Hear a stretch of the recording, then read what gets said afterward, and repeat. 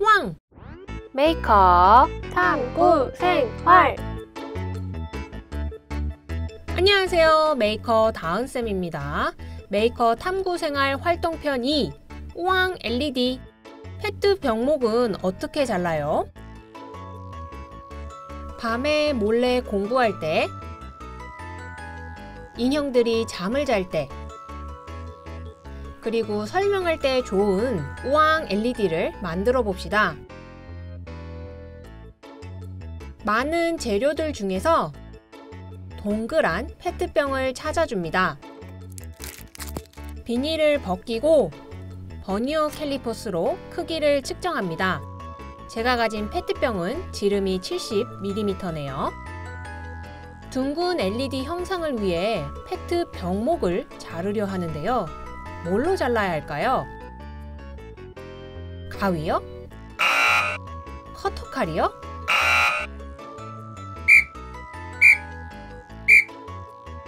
톱입니다.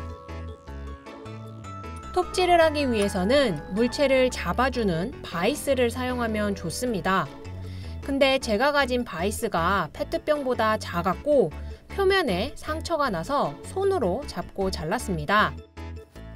대신 미끄러지지 않게 고무로 코팅된 장갑을 착용하고요. 페트병을 자를 때는 뚜껑을 꼭 덮고 잘라야 합니다. 그래야 형태가 잘 잡혀 있습니다. 먼저 천천히 톡 길을 내어줍니다. 어느 정도 자리가 잡히면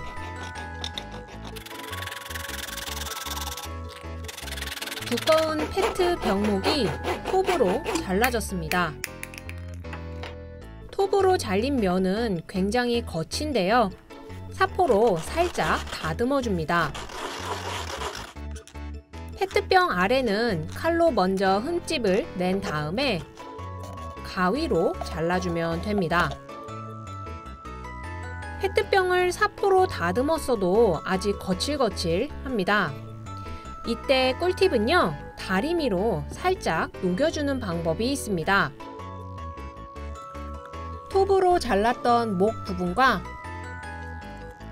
가위로 잘랐던 아래 부분도 살짝 녹여줍니다. 너무 오래 녹이면 페트병이 찌그러질 수 있으니 주의하세요.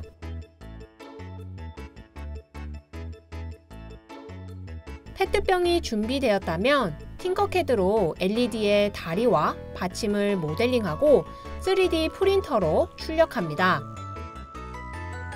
마지막으로 이렇게 준비된 재료들을 합체하면 다리가 두 개인 LED가 왕! 다리가 네 개인 LED도 왕! 자, 이제 무엇을 만들어 볼까요?